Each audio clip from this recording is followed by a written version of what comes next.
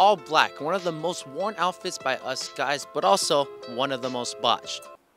Yeah, I know. Just from the intro fit alone, you can tell that that fit was not good, and there may be plenty of other reasons why you might be looking awkward in all black. So we're gonna take your black outfits from this to this. Let's get into it. The first reason is the shape and silhouette of your fit. I want you to picture your fit as if it was backlit. You know, you got a nice sunset in the background and all that someone could see would be the silhouette of you. And I want you to think about what shape would that outfit form. Now, there's going to be a lot of product analogies because I'm a weirdo and I think about this all the time, but take a look at this kettle that I have versus this boring ass one. Both are at a similar price, both function the exact same, but both have a different shape and design to it. What makes this one stand out is its gooseneck, the handle, while the other other just has a very basic handle and a mouth. So now that you understand that, I think the best thing that you can do is go for a more wider fitting pants. And why is this? Because you can change the form of your wider fitting pants. You can go for something a little more tapered. You can embrace the wide fittingness. You can let it lay over the sneaker. Wider fitting pants just allow you to be more creative with the presentation of your fit. Now think of how your tops can change shape. You got oversized shirts, slim fit shirts, hoodies, tank tops for the single layers. And now for the top layers, think of the difference between a bomber jacket jacket, a blazer, and a coat. Good product design comes from a little bit of risk taking versus playing it safe. Just keep that in mind. Just as my new watch did a little risk taking from CIGA Design, the sponsor of today's video. CIGA Design is a smaller brand, but they design some of the coolest watches I've ever seen. First off, let's start with the packaging. It comes in this minimal book-like box that you won't want to throw away, and I just like to use it as a design element in my place. You know, I like that aspect. Repurposing a package as a design element, you don't have to throw it away, waste something. So when taking out the watch, you can tell it was inspired by futuristic cyberpunk motifs and the craftsmanship is just beautiful. Double skeleton design, you can see the components that make up the watch and how it works. That's always fascinating to see. And I just love the subtle hints of orange. You can tell that's kind of part of my style, kind of what I'm wearing right now. And so that suits me and my style very well, but they also have other colorways as well. Whenever it gets dark, you have these lumen details so you can tell the time at night. I can always appreciate that. It comes with a NATO strap and a silicone one, and they are easily swappable. I wish all watch straps were that easy to swap. And once again, just take a look at that craftsmanship, the precision, the sharp lines. I love it. And a really cool detail is these corners are the hour marks, so you don't have to have the text for each number.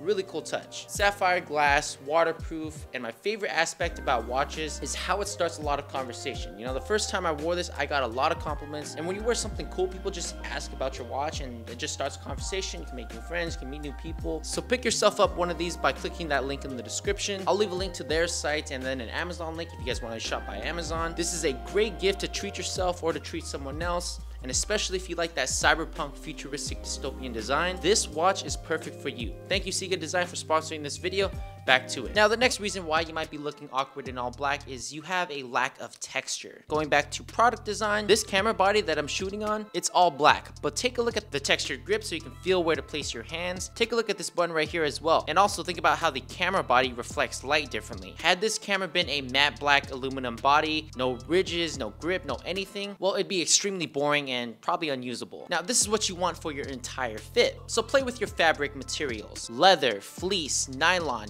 cotton, whatever you can think of, the different contrasts and textures plays a serious role whenever it comes to all black. Now here's another example, switching from a regular pair of trousers to a pair of pleated ones. There is a dramatic difference. Like this even got me inspired with my plant pots. So take a look at these two.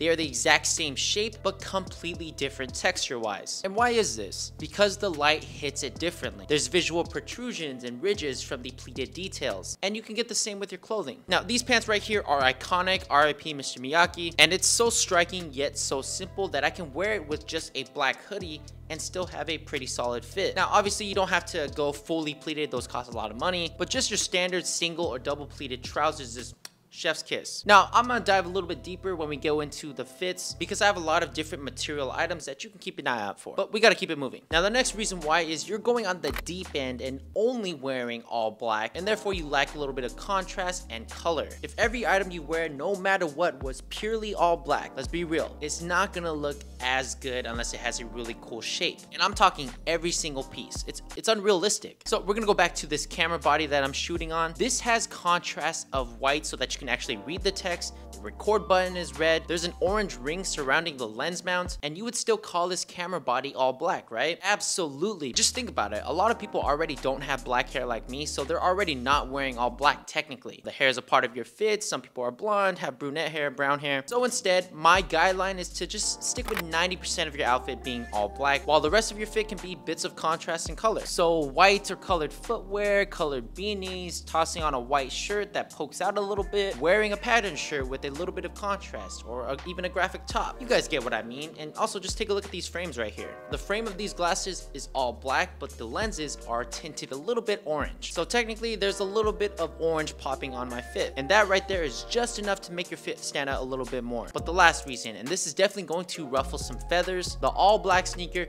is not what's up, in my opinion. And just notice how I say sneaker. I'm talking no contrast at all on the sneakers. Black laces, black outsole, these Vans versus these Vans, this Converse versus this Converse. You guys get the point. I personally have never really liked these sneakers unless, again, it goes back to having a cool shape to it. Kind of like these Suicoke sandals. Has a cool shape, all black, and a nice design. And that's why I like a classic pair of Vans. You know, you got the black overall silhouette with a little bit of white from the outsole and the laces. It's still considered a black sneaker colorway, but let's just say you do want all black footwear, boots are your best friend. They just look better than sneakers in my opinion. Again, it goes back to a cooler shape. Like who's rocking these Jordan 1s? Nobody. There's definitely much better ones out there with color, contrast. I don't know. What do y'all think? I'm very curious. And now to the fits. I'm gonna explain in detail on why I think these fits work. The first one involves this black crew neck right here. This one is from Rosen X. Do y'all see why this stands out? There's a contrast in fabrics. The nylons with the cotton and the reflective piping surrounding it. It just makes this piece super unique. All right, Johnny filming on another day, the footage got messed up, but we'll be starting with a more spring inspired fit for this one, and we'll be leaning into that utility tech vibe. So we'll be putting on these shorts from the homies over at the Glory Allen channel. These shorts have everything I explained from earlier in this video. It's got texture, it's got metals in a unique shape, and we'll be throwing on some crew socks as well as some Air Max 97s. I've been enjoying these sneakers a lot. For our accessories, we're gonna keep it simple with a cap and jewelry from the brand LOUPN. If you guys didn't already know, I've done my own collaboration with them,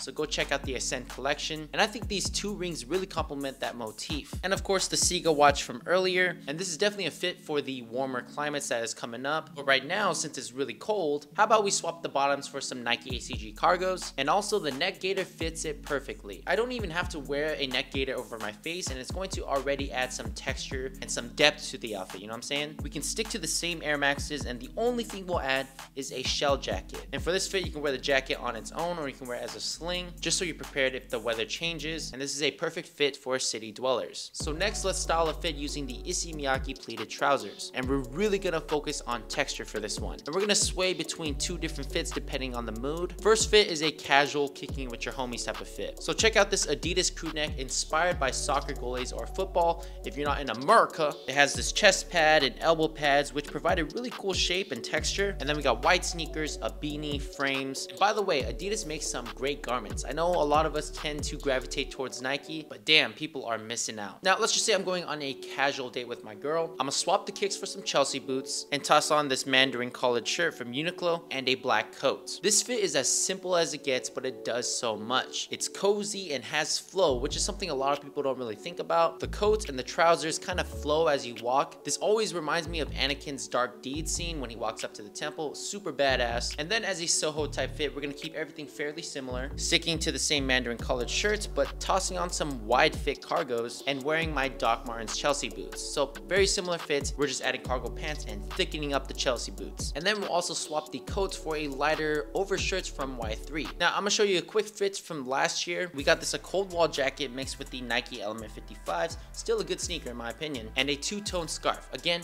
not everything has to be pure black. This is functional, looks pretty good, has a lot of texture. And for a more streetwear approach, we're gonna be rolling with full Richie Le collection, varsity jackets, cargo pants, their slate gray shirt, a trucker hat, and the Union Jordan 1s. I don't wear J's as much anymore, but they definitely complement this fit. Shout out to the boys out there in Seattle. And by the way, make sure you get yourself some lint rollers. And for this last outfit, it's very spring-esque. And who said you couldn't wear slim pants? I suggested wearing wide pants, but you can wear slim as well. And so we're rocking some flare trousers right here along with some Chelsea boots. I think it's a classic almost 70s type of look. And for our top, we're just gonna add a tank. And for a more chic look, we're gonna toss on that blazer. This is the perfect fit for a night out whenever it's a little warmer. And those are some fits for y'all. If you made it this far, make sure you comment that Scott Flow so I know that you're cool and you watched the entire video. Make sure you give this video a thumbs up, subscribe to the channel, and until then, stay fly, check out CIGA Watches. Deuces.